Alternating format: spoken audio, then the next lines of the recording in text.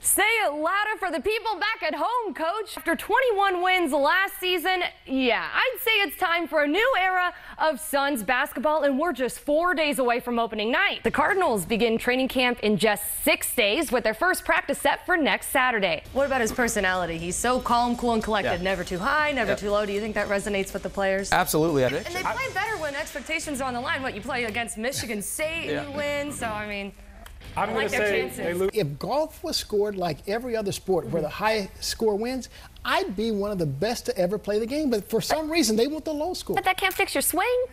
T, I, I really think you brought the good luck. Uh, the I, I D-backs. might have. Some big news on the college football scene. Yeah, that's right, Caribe. Ohio State head football coach Urban Meyer has been placed on administrative leave effective immediately. It wasn't exactly the ending Arizona State fans were expecting after such high hopes in the non-conference and a total and utter collapse in the Pac-12.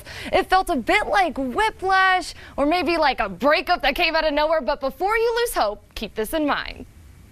Let's start at the beginning. For the first time in a long time, Arizona State basketball was in the national spotlight, at their peak and then their plummet. But all eyes were on the Sun Devils. Fans obsessed with the feeling like a new relationship that's seemingly perfect. Keyword is seemingly.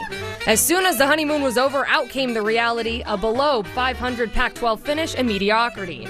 Suddenly, the perfectness felt more like a kick to the gut when a postseason run was slipping right through their pitchforks.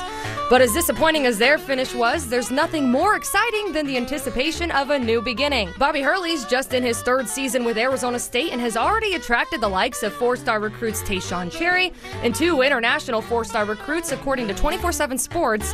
Com. Two transfers will be eligible Rob Edwards, a guard, and 6'8 Zylan Cheatham, a forward. Spoiler alert the Devils did need more size. ASU loses three senior guards Cody Justice, Shannon Evans, and Tra Holder, but bring back the Pac 12's co six man of the year freshman Remy Martin, junior De'Quon Lake, sophomore Mickey Mitchell, and redshirt freshman Romello White.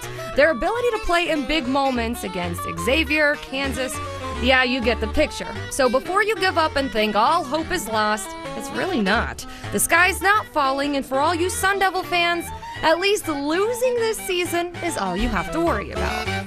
D-backs manager Torey Lovullo dropped a total bomb in last night's presser, reporting that third baseman Jake Lamb has fraying in his rotator cuff. So what does that mean for the D-backs? Well, you know, they're still figuring out the logistics. There are two ways to approach Lamb's injury. Number one, the conservative route, or two, surgery, which would sideline Lamb the rest of the year. Well, uh, if if if surgery is the option, I think he would be out for the year. If uh, we go the conservative route, um, there's a chance he could return. The decision will be up to Jake Lamb. The team has the night off. They'll host San Francisco starting tomorrow night. Well, we are less than three weeks away from kicking off season 28 of Friday Night Fever. And this week, we spotlight Desert Edge High School's Nassier Sims. Easily, hands down, one of the most humble players that I've ever met, who only started playing football in middle school as a way to protect his family.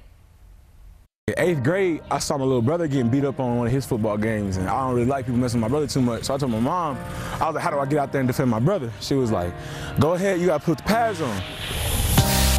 Nassier grew up in a single parent household. It was just him, his mom, and his little brother. It was hard, it, it was real hard.